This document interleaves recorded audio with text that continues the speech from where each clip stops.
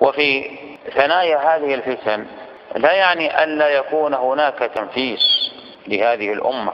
يكون هناك تنفيس. ولذا جاء في صحيح مسلم قوله عليه الصلاة والسلام لا تقوم الساعة حتى تعود أرض العرب مروجا وأنهارا.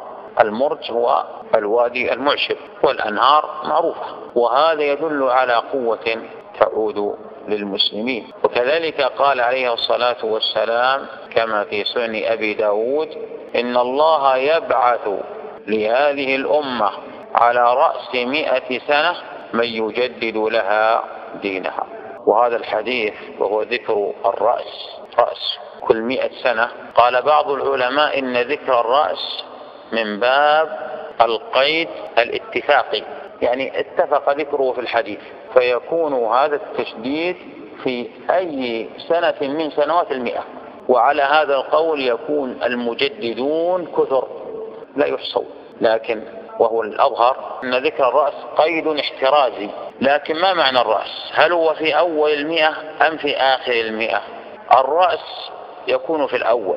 ولكن لا يعني أن الرأس لا يكون في آخر المئة. وهذا الحديث الرأس فيه هو آخر المئة ليس أول المئة. ولذا يقول أنس رضي الله عنه بعث النبي عليه الصلاة والسلام على رأس أربعين. ومما يدل على أن الرأس هو آخر المئة أن الأمة أجمعت على أن من بين المجددين هو عمر بن عبد العزيز. وعمر بن عبد العزيز هو في أواخر المئة في التسعينات من المئة. وإذا كان الرأس هو آخر المئة وذكره اشتراكي يدل على أن المجددين ليسوا بتلك الكثرة فيما لو قيل إن ذكر الرأس قيد اتفاقي ويقول بعض العلماء ويعيش هذا المجدد سنوات قليلة بعد خروج المئة. وهذا وارد الآن عندك الآن محمد عبد الوهاب على ما ذكره هؤلاء العلماء من المجددين. وهل يبعث الله عز وجل أكثر من مجدد؟ قال بعض العلماء نعم أكثر من واحد لأنه قال من ومن للعموم.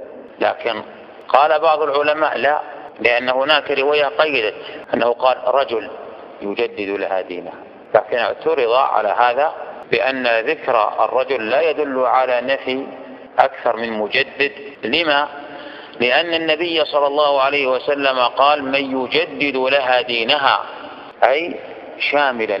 ولذا الشافعي رحمة الله عليه عد من المجددين ومع ذلك ليس مجددا في جانب السياسة والحكم بينما عمر بن عبد العزيز صدق عليه الوصف كله وبالتالي فيجوز أن يبعث أكثر من مجدد.